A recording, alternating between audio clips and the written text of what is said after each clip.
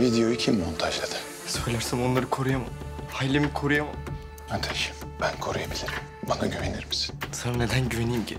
Senin onlardan ne farkın var? Sen de bir katilsin. Bence ona güvenebilirsin. Akif Hoca. Kimseyi öldürmemiş. Ben inanıyorum Akif Hoca'ya. O kimseye zarar vermeyecek. Tamam.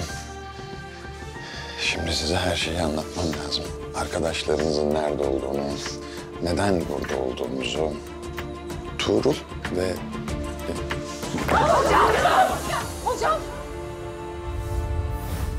Öğretmen yeni bölümüyle çarşamba akşamı Fox'ta.